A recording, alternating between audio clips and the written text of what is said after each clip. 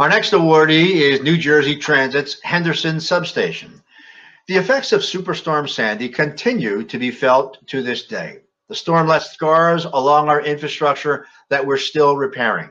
However, it also sparked innovative ways to make our system more resilient for the future.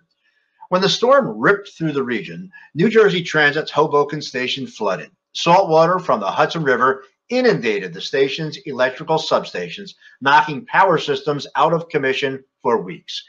Construction is underway of multiple substations designed to provide redundant auxiliary power while withstanding future floods and supporting interconnection to future power sources.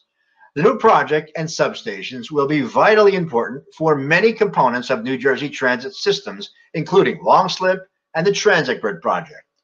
The project will demolish the vacant boiler building structure, construct a new substation building on the site of the old boiler building, construct new utility feeds, New Jersey Transit Grid connection, and emergency generator facility, relocate existing circuit connections to the new substation facility.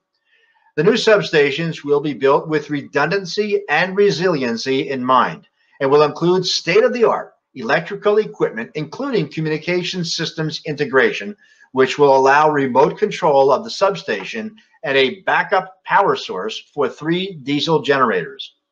Much of us who ride New Jersey Transit never think about the many components required to keep the system running safely and without interruption.